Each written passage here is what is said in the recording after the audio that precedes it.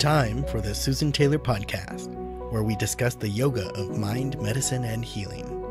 Author of Feeling Good Matters, Sexual Radiance, and the Vital Energy Program, Dr. Taylor imparts authentic knowledge and practical tools that inspire, educate, and empower us to be a healing force for positive change. So join us and take your life and our planet to the next level.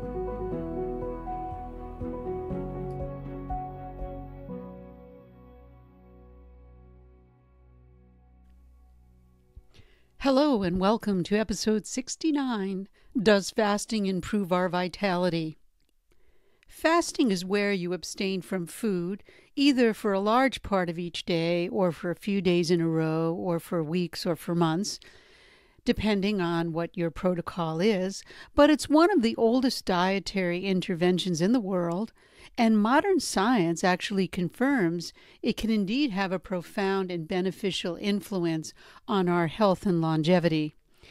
In today's episode, I'd like to talk about the health benefits of fasting, my technique that I've used with clients and students over the past few decades on fasting, and guidelines to conducting your own home fast. I'd like to start by saying that fasting is an ancient practice and it's been used for religious events as well as during times of health and disease. It's the body's natural way to let go and detox, which makes it a little bit different from starvation because of the intention that's set.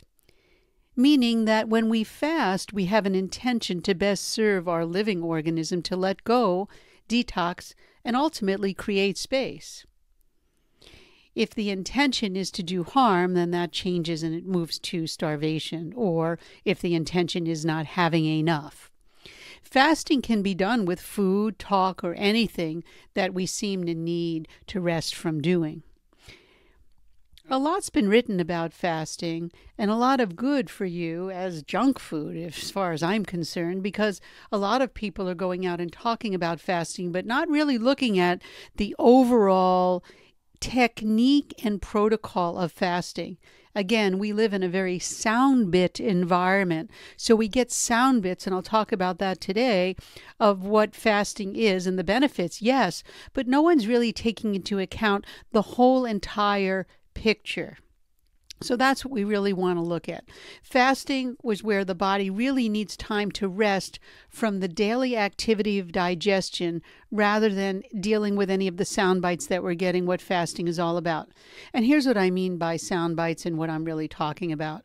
In a paper, A Time to Fast, which published in November of 2019 in the issue of Science, it reviewed many of the health benefits of fasting. And some of those benefits that they spoke about was the adjustment of meal size and frequency, helping to really postpone the onset of disease and delay aging. You know, they talked about periods of fasting with or without energy intake can have profound health benefits. So that's all that's substantial and we can prove that in science also spoke about the underlying physiological processes of the metabolic function in using fuel sources when we do have fasting or withholding from food, and how repair mechanisms may be optimized for energy utilization and cellular organization. So that's another fact that they found. They also talked about directing the integration of balance nutritious diet with controlling meal size and patterns and peri- periods of fasting to develop strategies to prevent and postpone and talk about chronic diseases associated with aging. In general, they came around by saying prolonged reduction of di- dietary intake, we know that caloric intake, and periodic fasting cycles have the power to delay the onset of disease and increase longevity. Well, I always, this is what I always say though digestion of these statements in general, they're general statements with facts that have proven to be positive, but they lead to a soundbite technology that we become immersed in. And that's where the whole intermittent fasting came about.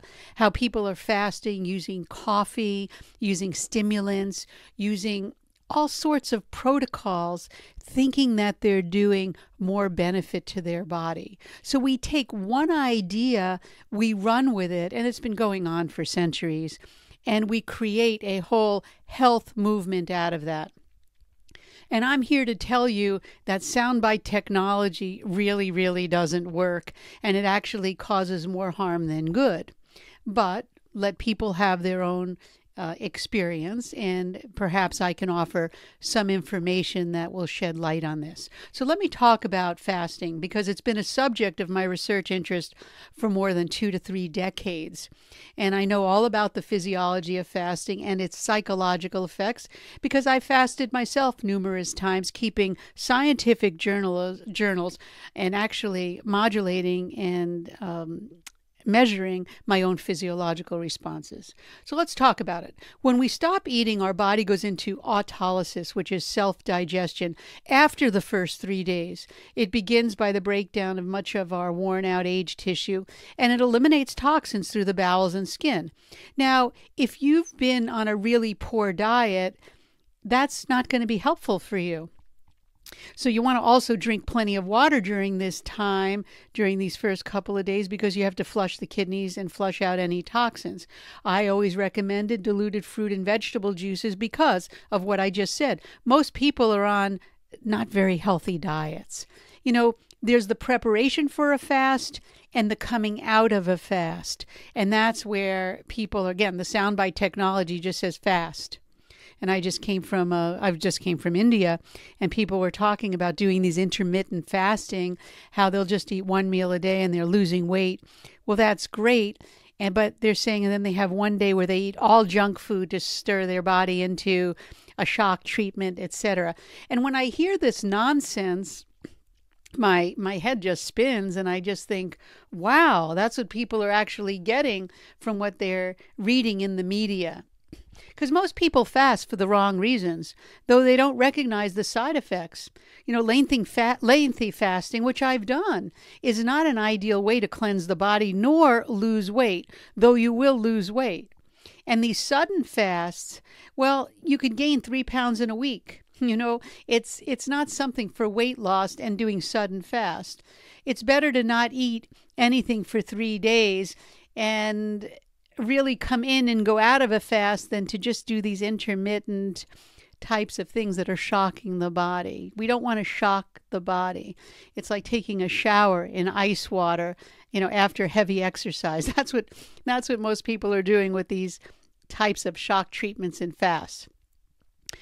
The worst results or the best results actually come after a fast ends the faster, you know, we prove that we can do that. We've been able to follow it.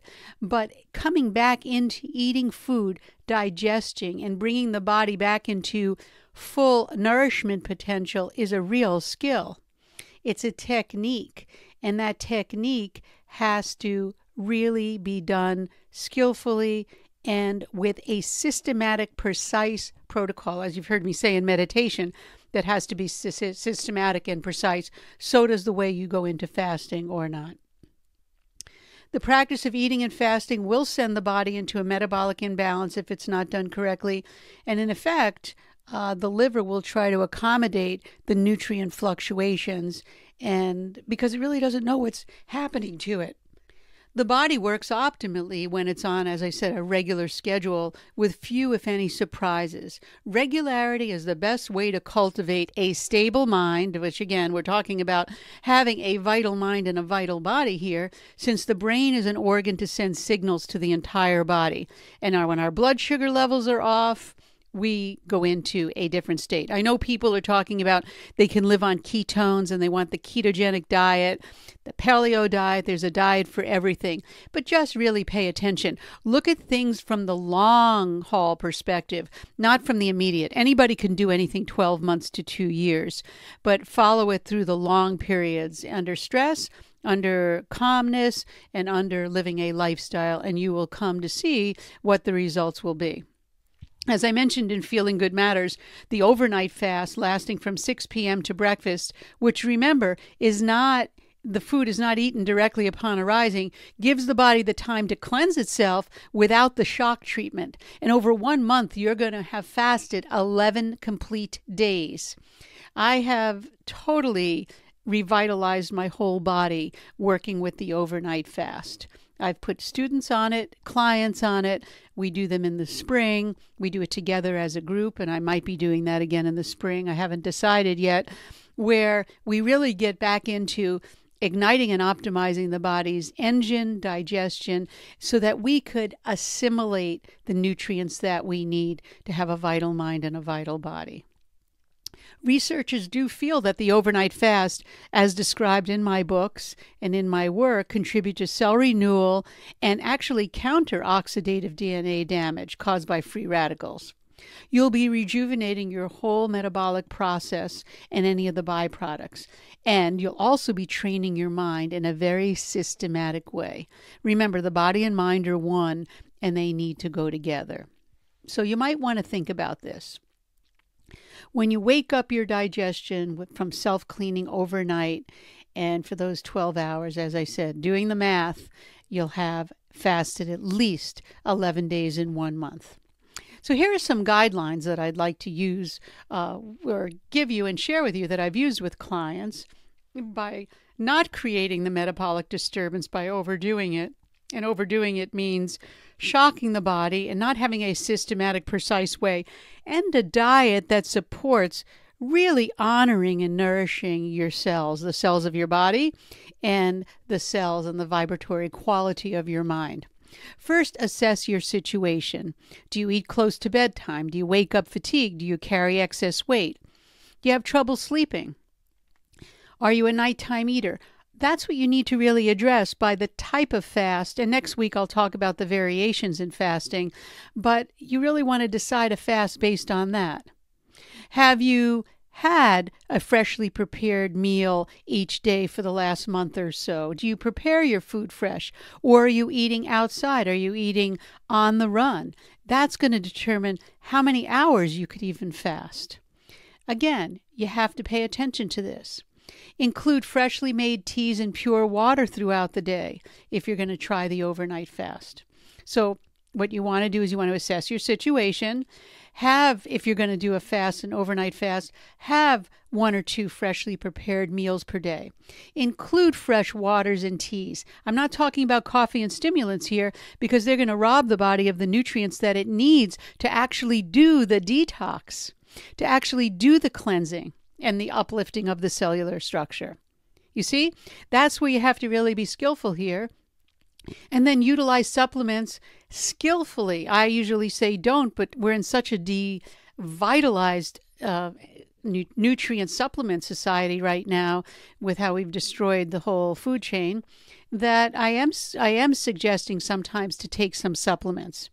And so you have to keep that in mind. And then learn to meditate. You should always have meditation as part of your fast because it allows the mind to remain calm. When the mind is calm, you need less calories. The body is uplifted and rejuvenated because the cellular structure is in a calm state. So let's keep that in mind. There'll always be times when you're unable to resist the urges of certain foods, and you wouldn't be human if you didn't get allured by some of these sensory stimulants that are in our society and in our food chain. But always remember remain calm no matter what. Don't beat yourself up, be human.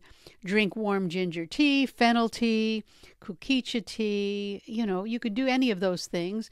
Drink peppermint tea if you need to digest some fats Use fennel seeds if you have too much gas. There's so many techniques.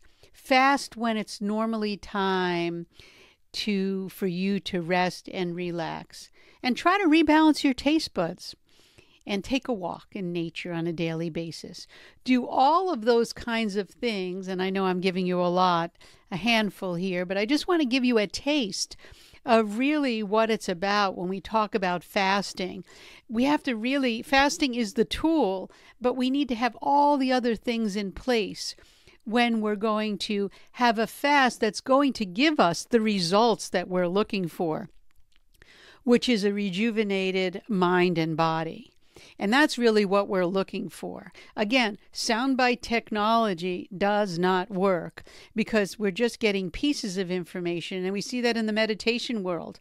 People are just taking little sections of what meditation is all about and calling it meditation, but it's really not. So you're not going to get the full result for your efforts. And you want to get the full results because you're putting the effort in. Fasting on a daily basis between meals and in the evening is a sure way to stay healthy, vital, and alert. By practicing the overnight fast, you're going to allow your body to do the house cleaning and your mind to rest and become vital again. Practiced it for one month, and you should have fasted 11 days. I'm just repeating what I've said, and that would be a great accomplishment. If you need to talk to me about that, I'm always available.